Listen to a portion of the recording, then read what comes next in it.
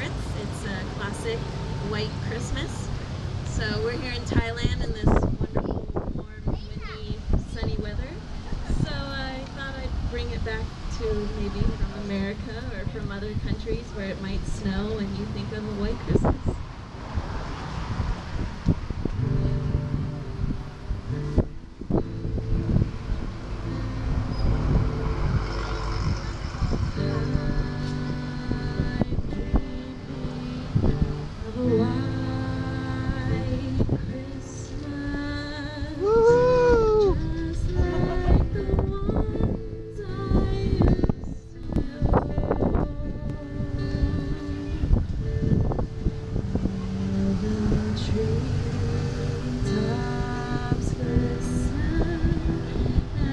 Listen to